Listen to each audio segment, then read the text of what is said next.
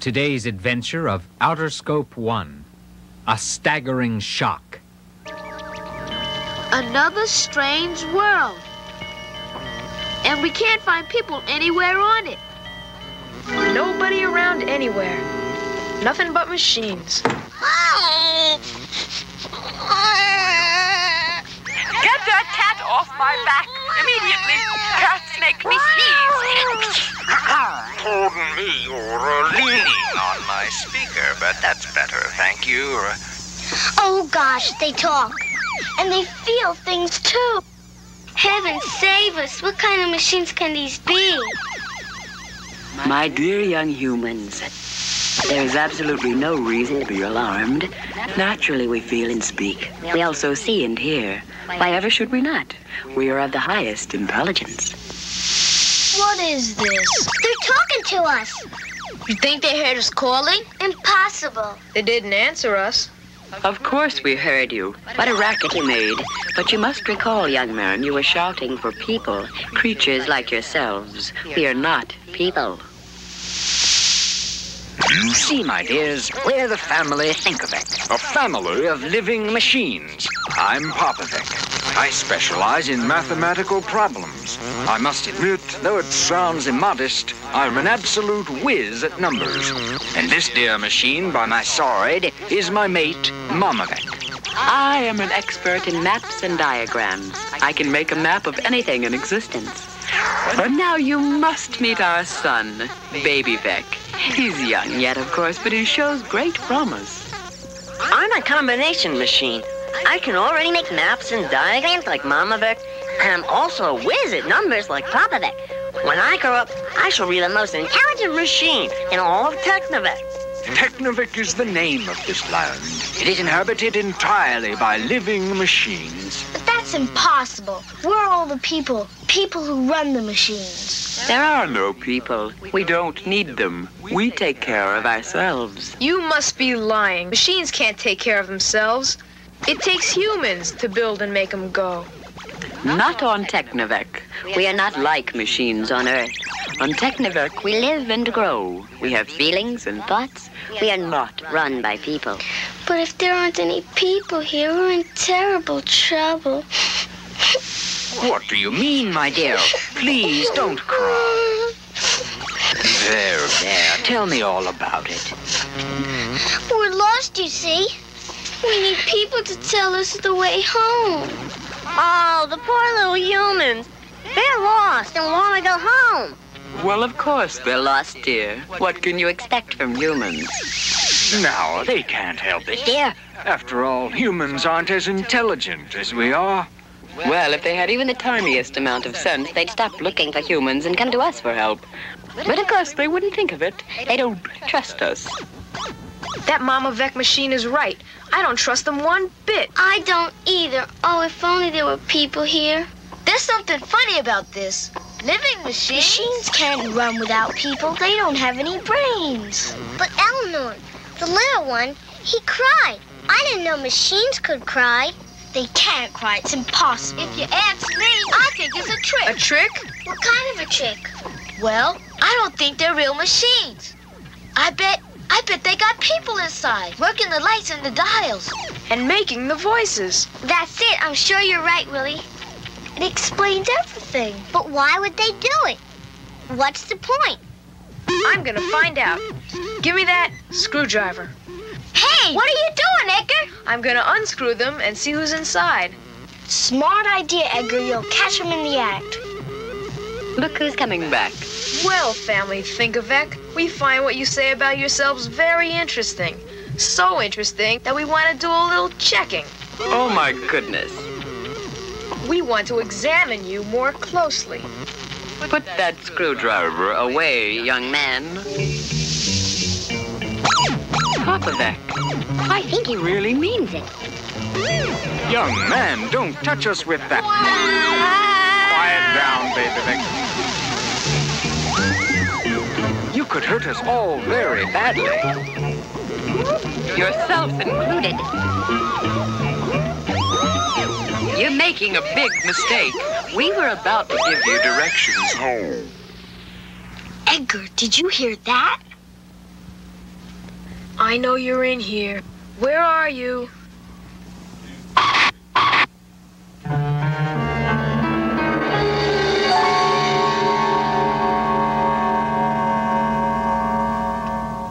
To be continued. Next time, Mamavic makes an offer.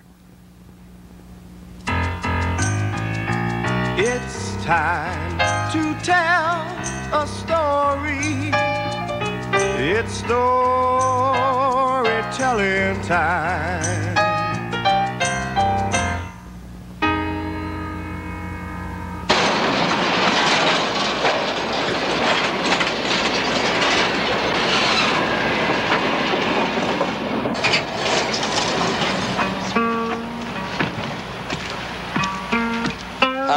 Withers, and um, I'm a singer and a songwriter and a record producer for my own pleasure, and incidentally, that's the way I make my living. I was born in a place called Slab Fork, West Virginia. I lived there till I was maybe three or four years old. When I was a little boy, there were always a lot of rocks around because I come from the uh, coal mining country. And uh, there were a lot of exposed rocks around because somebody was always digging in the ground in one form or another. Uh, one of the ways that uh, seemed to get rid of some of the excess energy that we had as little boys was we would just uh, throw rocks at, at anything, at uh, birds, although uh, none, none of us ever hit any. I don't think we ever expected to hit any. I got into music mostly from watching other people sing and uh, thinking, well, if they can sing, probably I can sing too. Music to me is primarily a way of uh, saying things to large groups of people, which I've never had the opportunity to do before, and also to uh, entertain, I guess. I think uh, hobbies can help you to build a, a work ethic in a way, the way that I make my living is a hobby. So I think hobbies is a, a nice way to ease into the work responsibilities that'll come later in your life.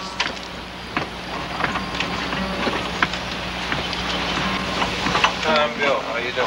Oh, hi there. I understand. Yeah, let me swing around there. All right. Ooh. Yeah, how long have you been driving this? Oh, good five years now. Yeah. Uh, can I ride back down with you? Are you going to be uh, going back pretty soon? Yeah, it'll be about 15 or 20 minutes. It'll be all right to ride back. Yeah, we'll hang out if you don't mind. Okay. Uh, my grandmother used to tell me about riding on the uh, trolley. You know, we didn't have any trolleys down where I come from. I come from coal mining country. She used to tell me about a lot of things. Uh, uh, cities like uh, New York, you know, and uh, riding on the uh, subway and going down south on the train. Yeah, I liked her. In fact, I uh, made up this song about her. You know. We got a while. Maybe I'll sing you a song. Okay? All right. If you can stand it. I I'll can't try. sing too good, but I'll try.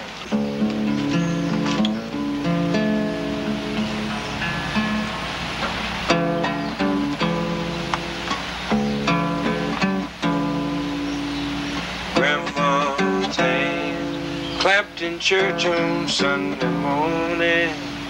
Grandma's hand played a tambourine so well. Grandma's hand used to issue out a warning. She'd say, Billy, don't you run so fast. Might fall on a piece of glass. Might be snakes there in that grass.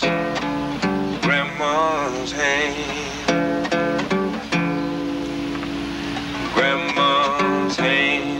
Used to hand me piece of candy. Grandma's hand picked me up each time I fell.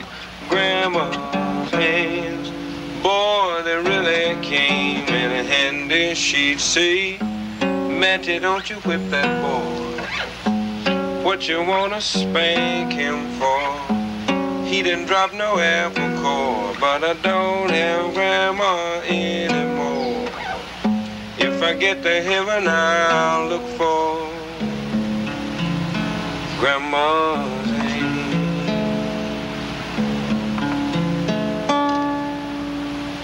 That's the kind of grandmother I had. We gotta go, huh?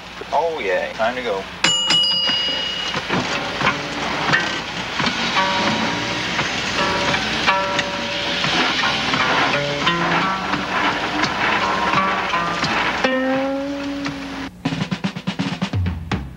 Why don't you make a new friend, make a new friend, make a new friend today? Why don't you make a new friend, make a new friend, make a new friend today? I can hear the soft winds blowing through the valleys and the hills. I can hear the soft winds blowing as I go, as I go. I can hear the soft winds blowing through the valleys and the hills. I'm going back to Carolina. Bless my soul, bless my soul. I can see the morning. Hey, let's go see Aunt Erie. Aunt Erie lives in the mountains of Georgia. She's a favorite friend of ours. Years ago, most of the people made things they needed for their daily lives, like clothing and soap. Well, Aunt Erie has taught us how to make some of these things, like doormats from dried corn shucks. I think she has a peacefulness up here that just comes through and you feel like you're at home. Well, I know that's what you say. oh, but I made a many one, Marie. You just have to learn. That's a, that's a lot of my life to show people how to do things. I've always done that. Yeah. Now, don't never, don't never feel to ask me to do anything that I can do. Uh, show you any of you to do anything I can show you. Hit this my soul's delight. Through there. From here? Right, right. When you come in, she asks you to sit down on the bed, and, and she'll laugh and all, and she'll put her hand on your knee and start smiling. She'll slap you around a little. Not hard at all, just love taps. Oh, my goodness. She wanted to talk to us, and she liked us. And ever since then, we've gone back. Last time we were there, we brought in her wood from the wood pile and, and sometimes draw her water. Well, just whatever needs to be done. Because she won't ask you to do anything. She's just that type of person. She said she hadn't cooked anything for herself in about two weeks. She'd just been eating things that she had around. So we thought about cooking her something. We cooked cornbread, peaches, cabbage, sausage, potatoes, and peas. Through the valleys and the hills, I can see the people Some of you folks turn thanks. Lord, we thank thee, we thank thee for this food for which we're about to eat, and we thank thee for friends and the day. In Jesus' name, amen. Now you know what she come for, except yourself. Aunt Erie is so trusting with everybody. She just makes you feel like you want to be yourself. Like I find myself talking to my grandmother a lot more than I used to and understanding her ways a lot more. Well, I had the long legs then and as stout as a mule, go galloping wherever, anywhere to do anything in the world. But since I've got like I am now, I can't do it. I'm now 88. That's been that long. You got spring fever, Aunt Erie. Uh, uh, You'll remember me forever, won't you? Yeah, that's your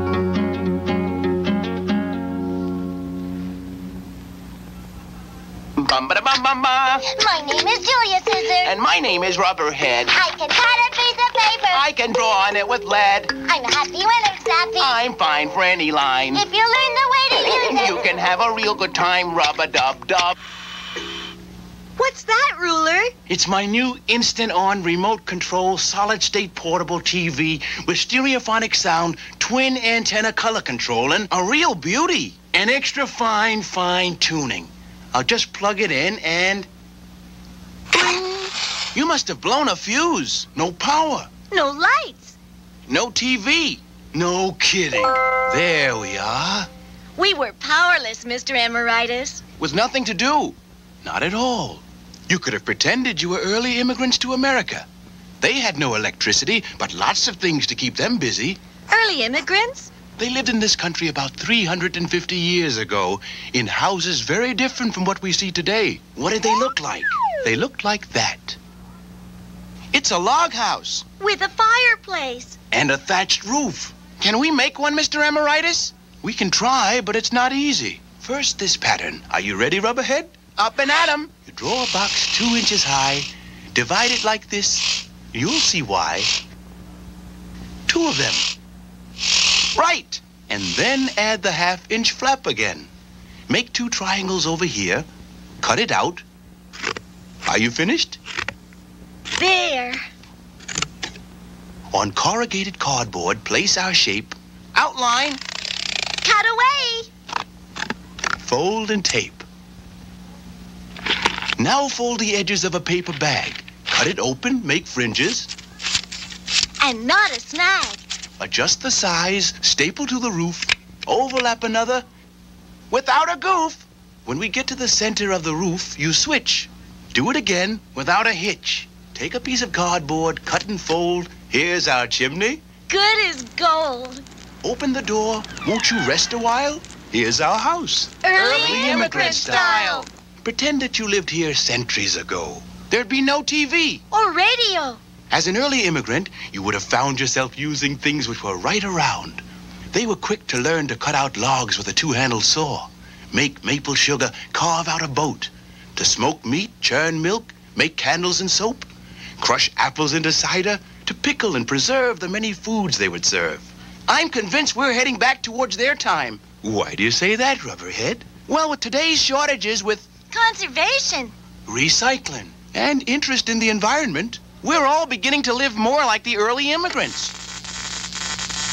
Well, that's the way it was, folks.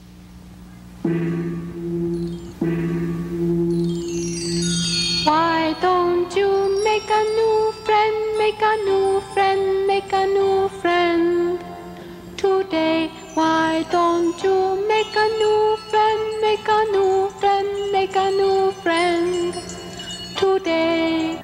My name is Karen.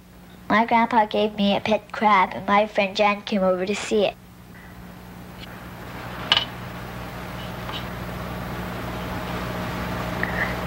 What does he eat? Something like little cornflakes. Do you put milk and sugar on? No, it's just little flakes that float around the water. Hello，他大姨妈。 Hi, Grandpa.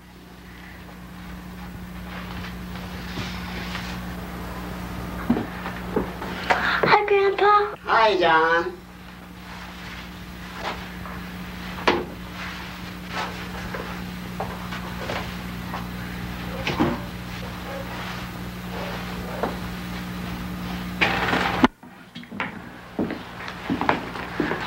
Your grandfather's taking your shoes off. He always does that. What for? Does his feet hurt? I don't think so. Where did he come from? Japan. Maybe they don't have shoes in Japan.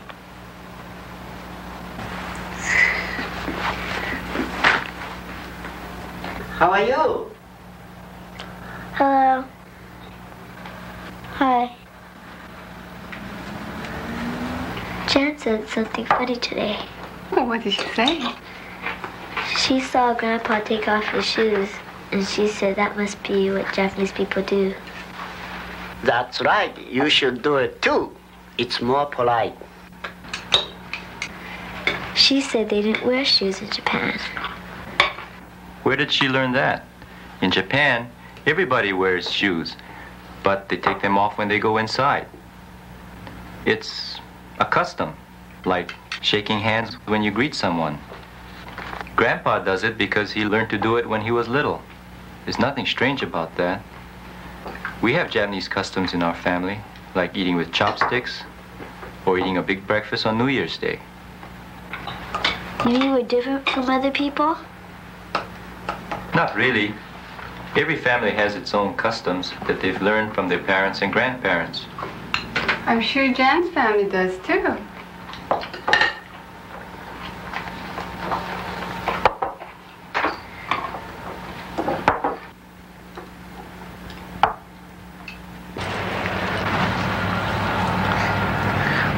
play with the crab. Did you ever put him in the bathtub?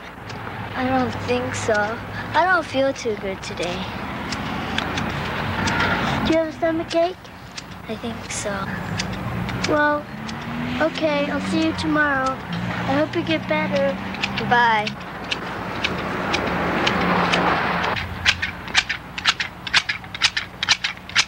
Hi, Grandpa. Hi, Karen. Why do you take off your shoes?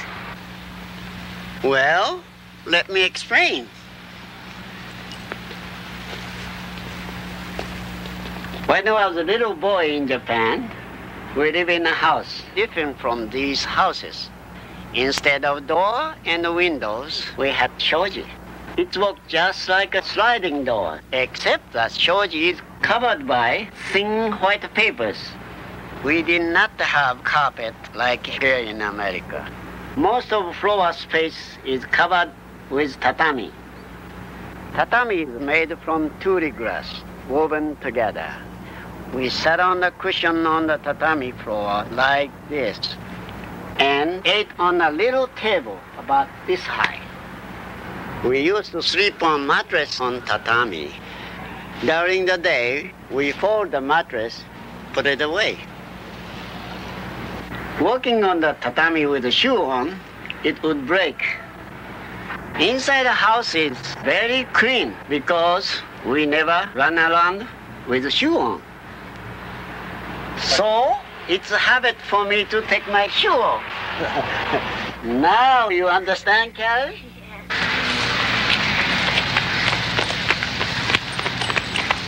Hi, Grandpa. Hi, Karen.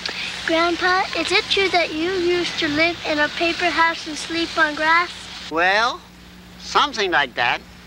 Do you want to see some pictures? Yeah! I'll be there in a minute.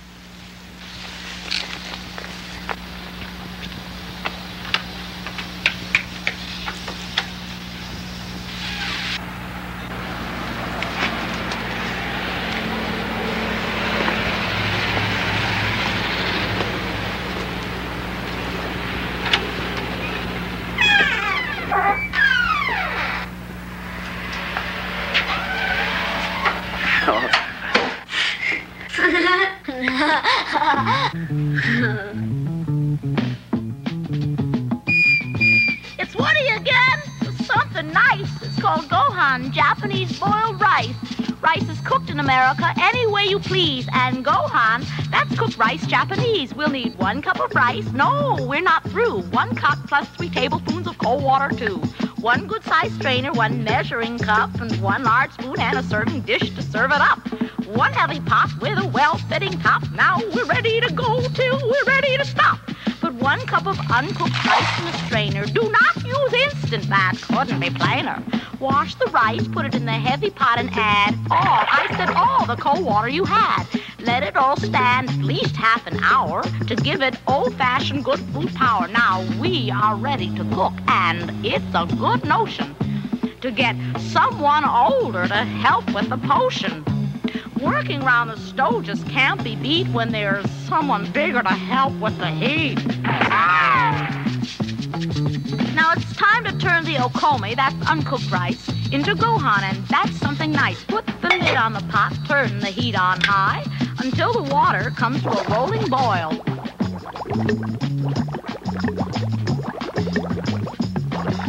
Then turn the heat down, but don't lift the cover and leave it alone. I said leave it alone for 15 minutes.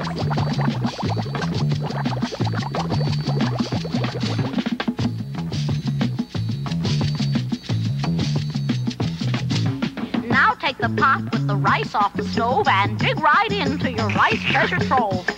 Monosugoku oishi. Monosugoku oishi. In Japanese, that means it's so tasty. One thing about being a nose, you never know what you're going to smell next.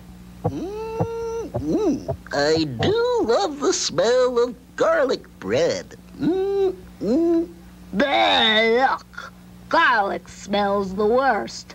Here, have a sniff of this fresh peanut butter ice cream to clear your head. Peanut butter? I can't stand the smell of peanut butter. All I can say is you're missing a good smell. You're the one who's missing something. You sure you don't have a stuffed nose? A little head cold, maybe, or something like that? I don't really know. Well, guys, not all noses like the same smells. It depends on what you're used to. And the same goes for the way people smell. Smell is another way that each person is an original. We all have a personal body odor, and that's what we're used to. So other people's odors sometimes seem strange to us. One reason for these differences in smell comes from the number of sweat glands we have. Sweat glands are tiny holes in the skin which allow water inside to reach the outside and cool us when we're too hot. Some of us have more of these sweat glands, and so we sweat more freely.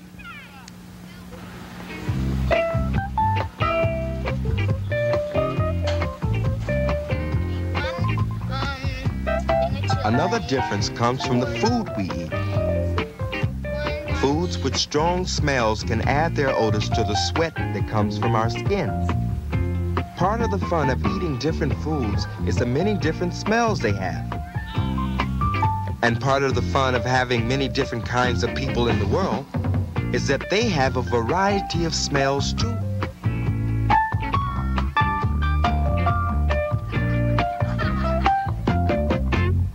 Black is beautiful. White is right. Black, white. Hold it, you guys. My daddy told me this black-white business is like seasoning food. We need both, salt and pepper. That's the way